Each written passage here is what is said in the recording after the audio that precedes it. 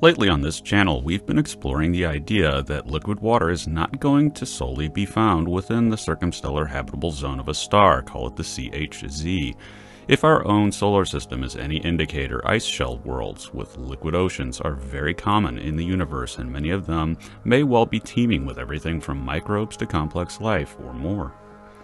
We also can't ignore the CHZ. We live within one, here on our gorgeous jewel of a planet that no doubt has a twin somewhere in the galaxy.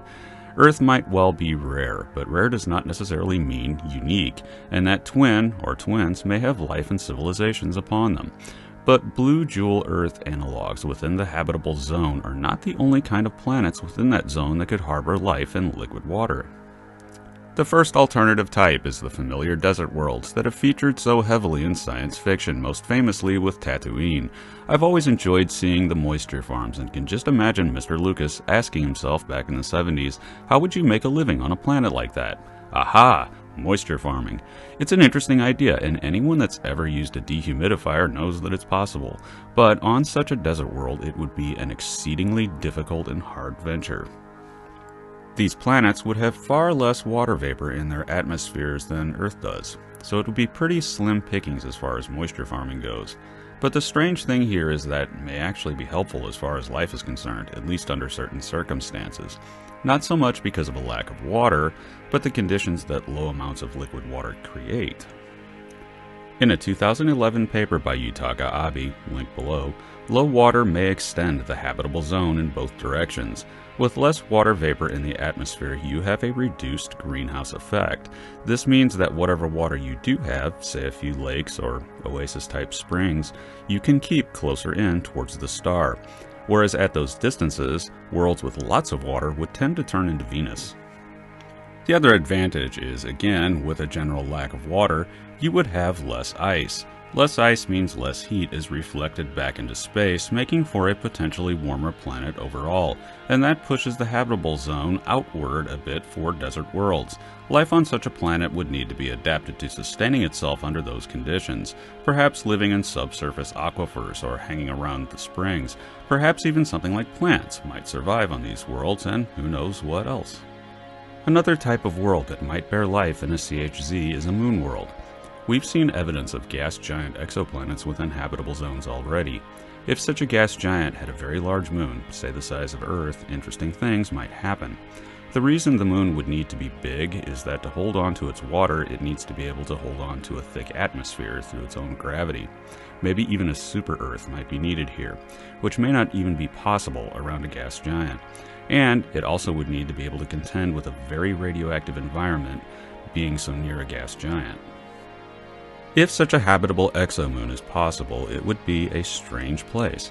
Imagine the effects of having such a large gravity well nearby on tides, if you even have them, since the planet would almost certainly be tidally locked to the gas giant. On the other hand, if the exomoon orbits the gas giant distantly, given it is within the CHZ of the star and the gas giant, then other possibilities open up. But it can't be too distant, or orbital stability becomes an issue. But no matter what, tidal forces are likely to play a huge role on a world like this.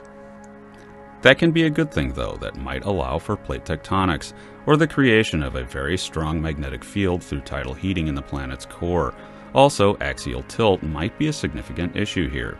Our moon regulates ours, but without that, the tilt can change pretty significantly. I find myself skeptical that we're going to find too many of these kinds of worlds. While possible, they face an uphill battle because of the gas giant elephant in the room. I think life at gas giants would generally go another route rather than arising on tidally locked huge ocean moons. It would happen at gas giants outside the habitable zone on small ice shell moons, just like Europa and Enceladus. One final alternative to an Earth analog involving a star's CHZ is the concept of a part-time life world. This is a tough sell for a world bearing life because it's pretty harsh, but it does seem possible and I include it especially because we have creatures on Earth such as the tardigrade that could survive those conditions by going dormant. This idea stems from a paper by Stephen Kane and Dawn Gelino. what happens here is that the planet has an elliptical orbit that brings it into the habitable zone during part of its orbit of the star. This would alternately freeze the planet and then thaw it, forcing a sort of hibernation cycle on any life that can arise there. Now, it's hard to envision life getting a start on a planet like that, but there are a lot of options there, such as geothermal vents, where life can get its start and sustain itself, and then branch out from there and adapt to the cyclic changes in the temperature of the planet. These three scenarios are complicated as far as to whether life can arise on planets like this, but it was complicated for Earth as well, yet here we are. In my next video, I'm going to complicate it even further. As another nod to Tatooine, I absolutely adore the imagery of that world, I will ask the question of what effect does living in a double star system have on the possibilities of life arising on planets orbiting them? The answer is surprising, so stay tuned. Thanks for listening. I am science fiction author and futurist John Michael Godier, currently wondering if Tatooine like worlds are possible, then what else is?